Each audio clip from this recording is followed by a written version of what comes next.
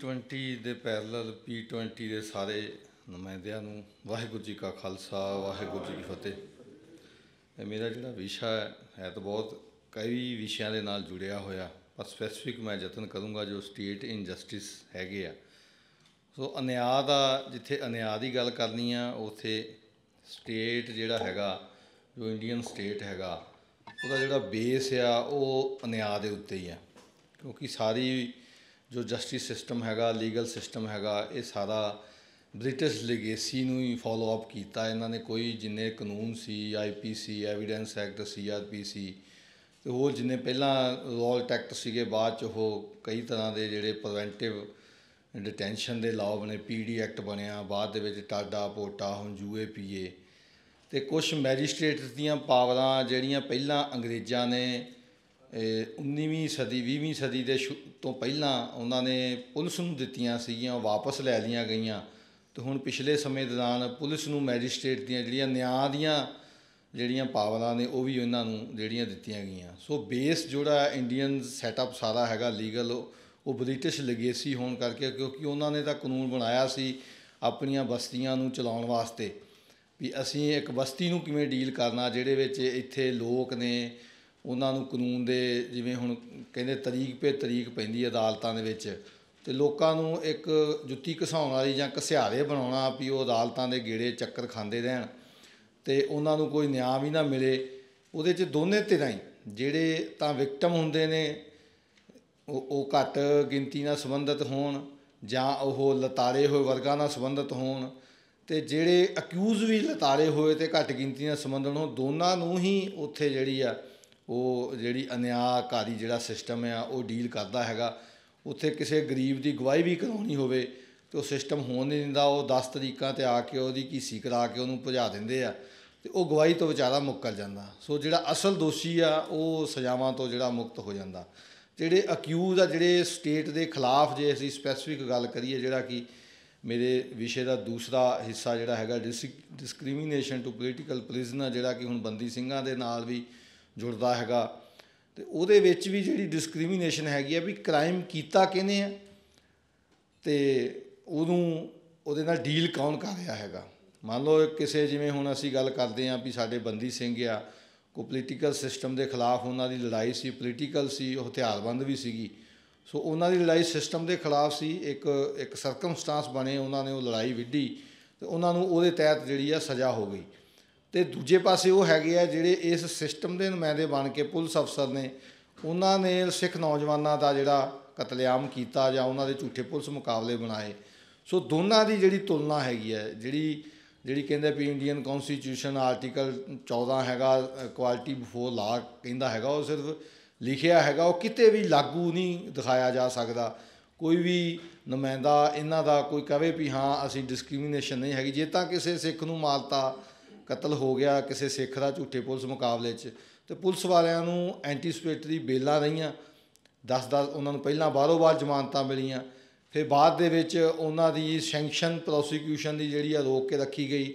Supreme court, high court ਨੇ 15-15 20-20 ਸਾਲ ਉਹ ਕੇਸ ਪੈਂਡਿੰਗ ਰੱਖੇ। ਬਾਅਦ ਦੇ ਵਿੱਚ ਜਦੋਂ ਫਿਰ ਪੈਰਵਾਈਆਂ ਹੋਈਆਂ, ਉਹਨਾਂ ਨੇ ਦੇਖਿਆ ਵੀ ਹੁਣ ਗਵਾਹ ਬਜ਼ੁਰਗ ਸੀ, ਉਹ ਮਲ ਜਾਣਗੇ ਕੁਝ ਖੱਪ ਜਾਣਗੇ ਕੁਝ ਮੁੱਕਲ ਜਾਣਗੇ। ਤਾਂ ਫਿਰ ਵੀ ਜਿਹੜੀ ਕੋਈ ਕਿਸੇ ਨੂੰ ਸਜ਼ਾ ਹੋ ਗਈ ਤਾਂ ਉਹਨਾਂ ਨੂੰ ਫਿਰ ਰਿਹਾਈਆਂ ਜਿਹੜੀਆਂ ਛੇਤੀ ਉਹਨਾਂ ਨੂੰ ਤੁਰੰਤ ਕਿਸੇ ਨੂੰ ਮੈਡੀਕਲ ਗਰਾਊਂਡ ਦੇ ਉੱਤੇ, ਕਿਸੇ ਨੂੰ ਕੁਝ ਗਰਾਊਂਡਸ ਦੇ ਉੱਤੇ ਤੇ ਕਈਆਂ ਦੇ ਦਬਾਅ ਪਾ ਕੇ ਉਹ ਜਿਹੜੇ ਪਿਛਲੇ ਕੇਸਾਂ ਦੇ ਵਿੱਚ ਗਵਾਹ ਸੀ, ਉਹਨਾਂ ਦੇ ਪਰਿਵਾਰਾਂ ਦੀ ਐਸੀ ਹਾਲਤ ਹੋ ਗਈ, ਉਹਨਾਂ ਨੂੰ ਕਿਸੇ ਨੂੰ 10-15 ਲੱਖ ਦੇ ਦਵਾ ਕੇ ਤੇ ਉਹਨਾਂ ਦੀਆਂ ਹਾਈ ਕੋਰਟ ਤੋਂ ਵੀ ਜਿਹੜੀਆਂ ਜ਼ਮਾਨਤਾਂ ਕਰਾਈਆਂ ਗਈਆਂ। ਸੋ ਉਹਨਾਂ ਦੀ ਰਿਹਾਈ ਦੇ ਵਾਸਤੇ ਵੀ ਹੁਣ ਸਾਡੇ ਬੰਦੀ ਸਿੰਘਾਂ ਦੇ ਸਬੰਧ 'ਚ ਪਿਛਲੇ ਲਗਭਗ, ਮੈਂ ਤਾਂ ਇਸ 2004 ਤੋਂ ਲਗਭਗ ਜੁੜਿਆ 20 ਸਾਲ ਹੀ ਹੋ ਗਏ। ਬੰਦੀ ਸਿੰਘਾਂ ਦੀ ਜਿਹੜੀ ਆ ਪੈਰਵਾਈ ਕਰਦਿਆਂ ਜਾਂ ਗੱਲ ਕਰਦਿਆਂ ਇੰਨੇ ਮੋਰਚੇ ਧਰਨੇ ਮੁਜ਼ਾਹਰੇ ਹੁੰਦੇ ਆ। ਤੇ ਉਹਦੇ ਵਿੱਚ ਕੋਈ ਸਫਲਤਾਵਾਂ ਵੀ ਮਿਲਦੀਆਂ ਅੰਸ਼ਕ ਰੂਪ ਦੇ ਵਿੱਚ। ਪਰ ਸਟੇਟ ਵੱਲੋਂ ਪੋਲੀਟੀਕਲ ਡਿਸੀਜਨ ਲੈ ਕੇ ਉਹਦਾ ਕੋਈ ਵੀ ਜਿਹੜਾ ਹੱਲ ਨਹੀਂ ਕੱਢਿਆ ਜਾਂਦਾ, ਉਹ ਇੱਕ ਸੈਟਅਪ ਦੇ ਵਿੱਚ ਹੀ ਜਿਹੜੀਆਂ ਹੁੰਦੀਆਂ ਹੈਗੀਆਂ। ਸੋ ਉਹਨਾਂ ਦੇ ਜਿਹੜੇ ਪੁਲਿਸ ਵਾਲਿਆਂ ਦੇ ਪਰਿਵਾਰ ਆ, ਮੈਂ ਕਦੀ ਨਹੀਂ ਦੇਖਿਆ ਵੀ ਕਿਸੇ ਨੇ ਕੋਈ 10 ਰੁਪਏ ਖਰਚ ਕੇ ਕੋਈ ਪ੍ਰੈਸ ਕਾਨਫਰੰਸ ਹੀ ਕੀਤੀ ਹੋਵੇ ਵੀ ਸਾਡੇ ਬੰਦਿਆਂ ਨੂੰ ਬੜਾ ਲੰਮਾ ਸਮਾਂ ਹੋ ਗਿਆ। ਉਹਨਾਂ ਨੂੰ ਸਾਲ, ਡੇਢ ਸਾਲ ਬਾਅਦ ਵੀ, ਉਹ ਸਾਲ, ਡੇਢ ਸਾਲ ਵੀ ਉਹ ਜਿਹੜਾ ਉਹਨਾਂ ਨੇ ਪਰੋਲਾਂ ਦੇ ਵਿੱਚ ਹੀ ਕੱਟਿਆ ਹੁੰਦਾ। ਉਹਨਾਂ ਨੂੰ ਸੁਪਰਡੈਂਟ ਵੱਲੋਂ, ਡਿਸਟ੍ਰਿਕਟ ਐਡਮਿਨਿਸਟ੍ਰੇਸ਼ਨ ਵੱਲੋਂ ਪਰੋਲਾਂ ਦੇ ਕੇ ਛੱਡਿਆ ਜਾਂਦਾ। 19 19 ਮਹੀਨਿਆਂ ਬਾਅਦ ਵੀ ਉਮਰ ਕੈਦੀ ਪੁਲਿਸ ਵਾਲਿਆਂ ਨੂੰ ਜਿਹੜੇ ਉਹਨਾਂ ਦੇ ਰਿਹਾਈ ਦੇ ਨਕਸ਼ੇ ਇਹ ਇਰੈਲੇਵੈਂਟ ਟੂ ਵੀ ਸਰਕਾਰ ਕਿਹਦੀ ਆ, ਬਾਦਲ ਦੀ ਆ, ਕਾਂਗਰਸ ਦੀ ਆ, ਆਮ ਆਦਮੀ ਦੀ ਆ, ਖਾਸ ਪਾਰਟੀ ਦੀ ਆ, ਕਿਸੇ ਦਾ ਕੋਈ ਸੰਬੰਧ ਨਹੀਂ। ਜਿ, ਜਿੱਥੋਂ ਅਸੀਂ ਇਹ ਗੱਲ ਕਰਦੇ ਆ ਉੱਥੇ ਸਿਸਟਮ ਦੀ ਗੱਲ ਆ, ਦਿੱਲੀ ਦਰਬਾਰ ਦੀ ਗੱਲ ਹੈਗੀ ਆ। ਉਹ ਆਪਣੇ ਕਰਿੰਦਿਆਂ ਨੂੰ ਇੰਨੀਆਂ ਮਸ਼ੱਕਤਾਂ ਦੇ ਨਾਲ ਕਰਾਈਆਂ ਹੋਈਆਂ ਸਜ਼ਾਵਾਂ ਨੂੰ ਵੀ ਉਹ ਸਾਲ, ਡੇਢ ਸਾਲ ਬਾਅਦ ਉਹਨਾਂ ਨੂੰ ਰਿਹਾਈਆਂ ਦੇ, ਉਹਨਾਂ ਦੇ ਨਕਸ਼ੇ ਤੋੜ ਕੇ ਉਹਨਾਂ ਨੂੰ 2-4 ਸਾਲ ਬਾਅਦ ਰਿਹਾਈ ਦੇ ਦਿੰਦੀ ਹੈ ਉਹਨਾਂ ਦੀ। ਸਾਡੇ ਵਾਰੀ ਕਹਿ ਦਿੰਦੇ ਜੀ, ਨਹੀਂ, ਇਹਨਾਂ ਦੀ ਅਪੀਲ ਪੈਂਡਿੰਗ ਆ ਜੀ, ਇਹਨਾਂ ਦੀ ਅਜੇ ਸੁਪਰੀਮ ਕੋਰਟ ਪੈਂਡਿੰਗ ਆ, ਹਾਈ ਕੋਰਟ ਪੈਂਡਿੰਗ ਆ। ਐਸਐਸਪੀ ਪ੍ਰੀਤਪਾਲ ਸਿੰਘ ਵਿਰਕ ਸੀ ਇੱਥੇ ਅੰਮ੍ਰਿਤਸਰੀ ਜਦੋਂ ਉਹਨੂੰ ਸਜ਼ਾ ਹੋਈ ਬਾਅਦ ਦੇ ਵਿੱਚ ਪਟਿਆਲੇ ਸੀਬੀਆਈ ਅਦਾਲਤ 'ਚ।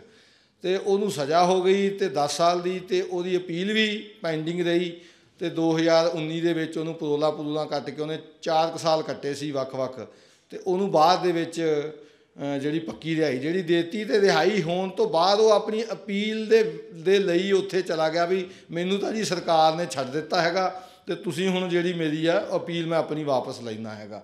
ਸੋ ਇਸੇ ਤਰ੍ਹਾਂ ਯੂਪੀ ਦੇ ਪੁਲਿਸ ਵਾਲੇ ਅਸੀਂ ਤਿੰਨ ਯੂਪੀ ਦੇ, ਇੱਕ ਪੰਜਾਬ ਦੇ, ਉਹ ਵੀ 4-5 ਸਾਲ ਬਾਅਦ ਉਹਨਾਂ ਦੀ ਜਿਹੜੀ ਰਿਹਾਈ ਹੋ ਗਈ। ਜੇ ਅਸੀਂ ਇਕੱਲੇ ਸਿੱਖਾਂ ਦੀ ਨਾ ਗੱਲ ਕਰੀਏ, ਤੁਸੀਂ ਆਲ ਓਵਰ ਇੰਡੀਆ ਦੀ ਗੱਲ ਕਰੀਏ, ਬਹੁਤ ਸਾਰੇ ਉਮਰ ਕੈਦੀ 30-30 ਸਾਲਾਂ ਤੋਂ ਜਿਹੜੇ ਕੇਸਾਂ ਦੀਆਂ ਸਜ਼ਾਵਾਂ ਹੋਣ ਤੋਂ ਬਾਅਦ ਉਹਨਾਂ ਨੂੰ ਜਿਹੜੀ ਪਰਸਨਲ ਬੌਂਡ ਤੇ ਵੀ ਨਹੀਂ ਛੱਡਿਆ ਜਾ ਰਿਹਾ ਤੇ ਉਹ ਹਾ- ਸੁਪਰੀਮ ਕੋਰਟ 'ਚ ਬਹੁਤ ਸਾਰੀਆਂ ਰਿਟਾਂ ਜਿਹੜੀਆਂ ਪੈਂਡਿੰਗ ਹੈਗੀਆਂ ਤੇ 30-30 ਸਾਲ ਬਾਅਦ ਵੀ ਉਹਨਾਂ ਦੀ ਜਿਹੜੀ ਰਿਹਾਈ ਜਿਹੜੀ ਨਹੀਂ ਹੋ ਰਹੀ। ਸੋ ਇਹ ਡਿਸਕ੍ਰਿਮੀਨੇਸ਼ਨ ਉੱਥੇ ਹੀ ਆ, ਜਿਵੇਂ ਮੈਂ ਕਿਹਾ ਵੀ ਉਹ ਕਤਲ ਕੇਸ ਕਿਹਦੇ ਉੱਤੇ ਆ ਤੇ ਕਿਹਦੇ ਬਰਖਲਾਫ ਆ। ਜਿਵੇਂ ਬਿਲਕਿਸ ਬਾਨੋ ਵਾਲੇ ਕੇਸ ਦੀ ਸਾਰਿਆਂ ਨੇ ਉਦਾਹਰਨ ਲਈ ਮਰਡਰਰ, ਰੇਪਿਸਟ ਬੰਦਿਆਂ ਨੂੰ ਜਿਹੜਾ 12 ਸਾਲਾਂ ਬਾਅਦ ਜਿਹੜਾ ਉਹਨਾਂ ਨੂੰ ਛੱਡ ਦਿੱਤਾ ਗਿਆ। ਸੋ ਜਿਹੜਾ ਇਹ ਸਾਰਾ ਟਕਾਉਂਜ ਹੈਗਾ ਵੀ ਇਕੁਐਲਿਟੀ ਬਿਫੋਰ ਲਾ ਆਰਟੀਕਲ 14 ਦੇ ਵਿੱਚ ਲਿਖਿਆ ਹੋਇਆ, ਉਹ ਕਿਤੇ ਵੀ ਇੰਪਲੀਮੈਂਟ ਨਹੀਂ ਹੈਗਾ।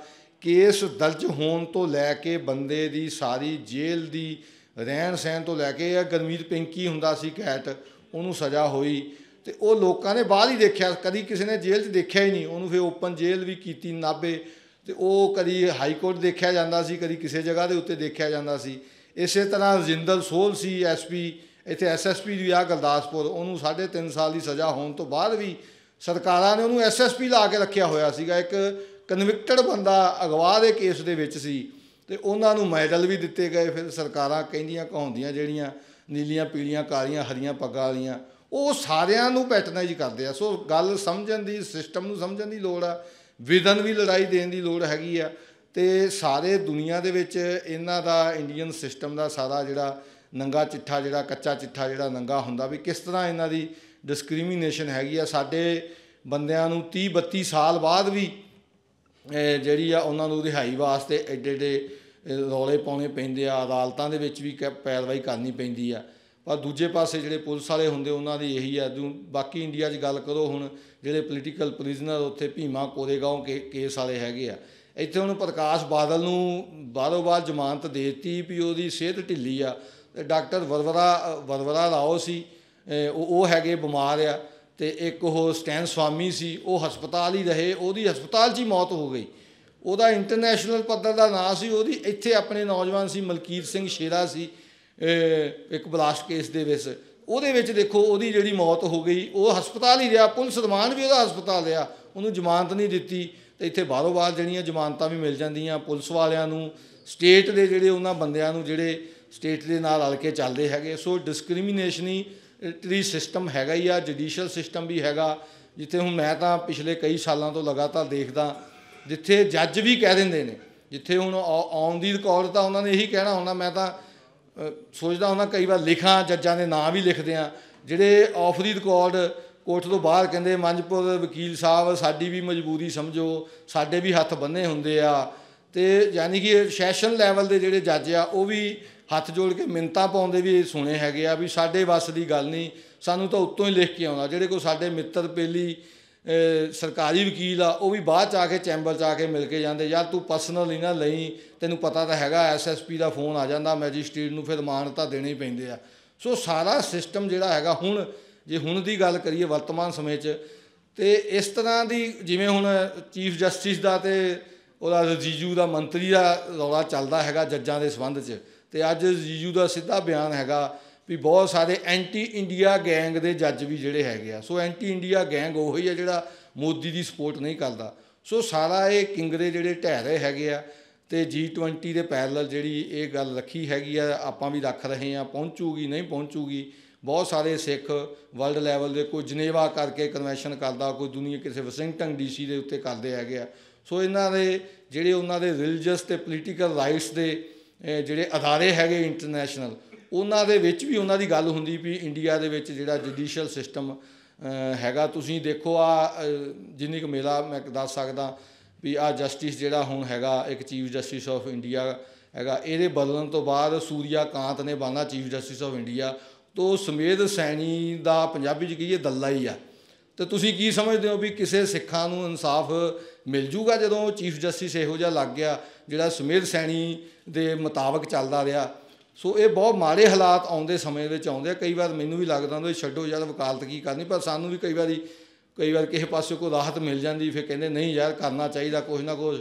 ਲੜਾਈ ਜਿਹੜੀ ਸਾਨੂੰ ਇਸ ਪੱਖ ਤੋਂ ਵੀ ਲੜਨੀ ਚਾਹੀਦੀ ਹੈ ਸੋ ਬਹੁਤ ਮਾੜੇ ਹਾਲਾਤ ਹੋ ਗਏ। ਡਿਸਕ੍ਰਿਮੀਨੇਟਰੀ ਸੀਗਾ ਹੀ ਪਹਿਲਾਂ ਤੋਂ, ਸ਼ੁਰੂ ਤੋਂ ਹੀ ਇਹਦਾ ਬੇਸ ਹੀ ਡਿਸਕ੍ਰਿਮੀਨੇਸ਼ਨ ਹੈਗਾ। ਪਰ ਹੁਣ ਇਹ ਨੰਗੇ ਚਿੱਟੇ ਰੂਪ ਦੇ ਵਿੱਚ ਡਿਸਕ੍ਰਿਮੀਨੇਸ਼ਨ ਉਹ ਤੁਹਾਨੂੰ ਮਹਿਸੂਸ ਕਰਾ ਦਿੰਦੇ ਆ। ਤੇ ਵੀ ਅਸੀਂ ਡਿਸਕ੍ਰਿਮੀਨੇਸ਼ਨ ਕਰ ਰਹੇ ਆ ਤੇ ਉਸ ਗੱਲ ਦਾ ਉਹ ਮਾਣ ਵੀ ਮਹਿਸੂਸ ਕਰਦੇ ਆ।